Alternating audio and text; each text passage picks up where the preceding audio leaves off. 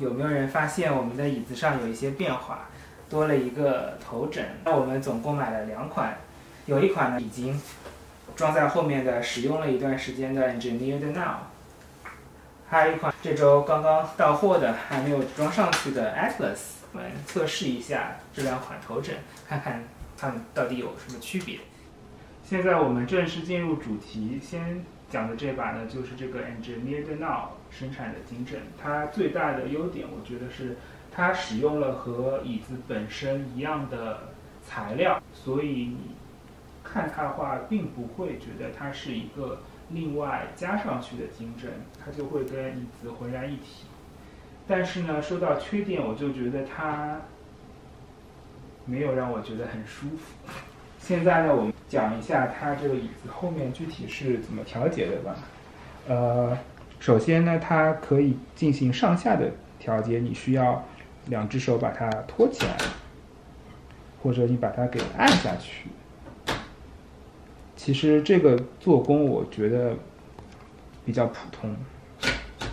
然后呢，你还可以把它这样进行转动，往上转，往下转。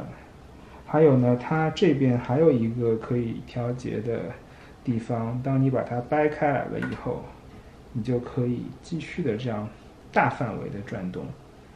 但是它有一个不好的地方，就在于说，当你的头枕上去以后，它并不能保持一个固定的位置。如果你太用力的话，它其实会动，需要再把它掰回去，然后再把它给拉上来。第二个缺点就是说，在我工作打字、身体需要自然前倾的时候，它没有办法对我的颈部提供一个足够的支撑。就比如说，这个是我一个很自然的工作状态，但是在这种状态下，你的颈部离它这个头枕的距离非常的大。还有一个大家都会提到的问题，就是你戴上耳机以后就会被硌到，它的边缘会碰到这个两边。嗯，这是不是应该所有的头枕都会有这个问题？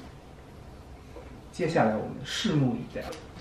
小问题的话，头发会哦，卡进去。卡进去，所以就是会卡头发。对，总结就是有三个缺点，一个是它会动，它没有办法固定住；第二个，它在你工作状态的时候没有办法支撑到你的头部和颈部；第三个缺点就是它的这个面料本身可能会卡头发，以及在你佩戴耳机的时候，你没有办法随心所欲的转头。是从拆的过程，你们就知道说这个椅子是怎么装的，其实还是挺简单的嘛。可能要把它稍微抬过来一点，在这个底下它有一颗螺丝，然后呢，你要找到它，把它给拧松就可以取下来了。现在我其实已经卡进去了，这个挺难拆的，刚才费了九牛二虎之力。这个时候已经松了，所以就可以把它从边上拿下来。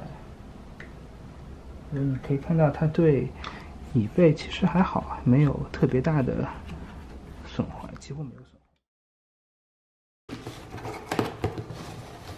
看有 cushion 的那种吗？这个其实还挺简单的，就把它放到中间，看有没有对准。感觉这边应该已经是中间。现在呢，它有几个功能，它后面有一个按钮，对，是一个旋钮。旋钮，如果你转它的话，它就可以往上提或者或者往下按，就可以调节到你喜欢的一个高度。这它的缺点应该是你没有办法在前面做的时候去调节，所以你先要调节到一个你觉得可能差不多的高度，再反复的试验一下。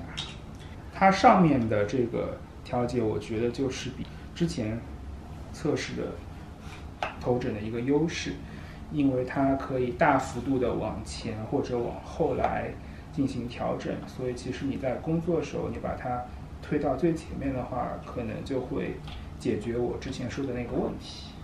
我们现在来试一下吧。哦，舒服舒服，但是它就不不像说我之前可以随心所欲，这样我觉得哎呀有一点点不舒服，我就把它往下按一点。但是你这样按它就一点反应都没有，因为是固定的。我们再试验一下说，如果我把耳机戴上去，会不会有之前说到的问题？顺便说一下，就是它这个材质的话，它像是一片海绵，所以不存在之前说到的会卡头发的问题。我们试一下戴耳机。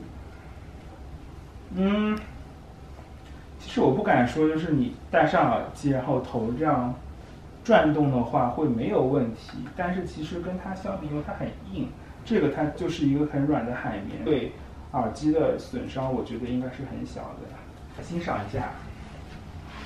它的这个造型，我觉得造型的话，你也不能说说它很好看，也不能说它不好看。你可以明显的感觉到它的塑料跟 Herman Miller 本身是不一样的，有一点磨砂。现在除了长得丑就没有缺点了。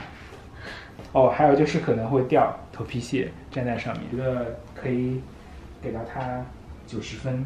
唯一的最大的缺点的话，就是它长得不像是原配。这个的话，它长得虽然像是原配，你看，但它不好用啊！再见，再见。